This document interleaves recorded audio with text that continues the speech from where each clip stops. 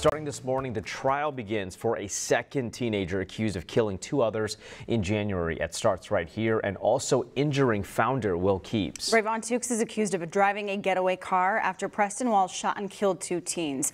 Walls stood trial last month. Local 5's Larissa Mills breaks down the case and what we might be expected in court.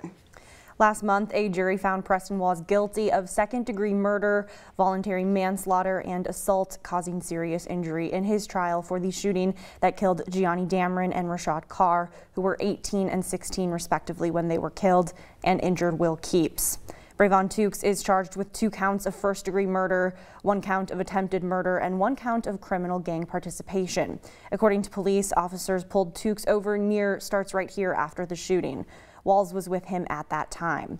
Police say Walls ran out of the car Tukes was driving and that he and Tukes were in communication before and after the shooting. The two were originally going to be tried at the same time. However, back in April, a judge ruled their trials should be separated so Walls could be called to testify by Tukes' defense lawyers.